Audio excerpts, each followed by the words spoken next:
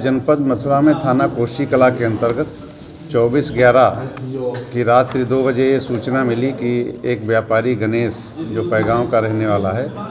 इससे 27 लाख की लूट हुई है। इस पर हमारी कोसी की पुलिस और अन्य चौक पुलिस चौकी इंचार्ज, सभी मोबाइल हुए, हम लोगों ने घटनास्थल निरीक्षण किया। सभी जगह इसकी चेकिंग रात में कराई गई, लेकिन सीसीटीवी फुटेज आज देखे गए। लेकिन इस सबसे ये जानकारी मिली कि इसमें कुछ मामला संदिग्ध है और उसी आधार पर हम इसका छानबीन करने लगे।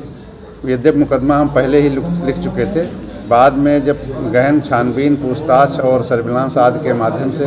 हमारी कोसी पुलिस सक्रिय हुई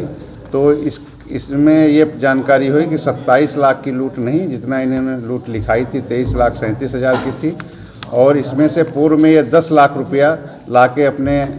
किसानों को बांट चुके थे, और तेईस तेरह लाख सैंतीस हज़ार रुपया शेष था, जो इसके साले के,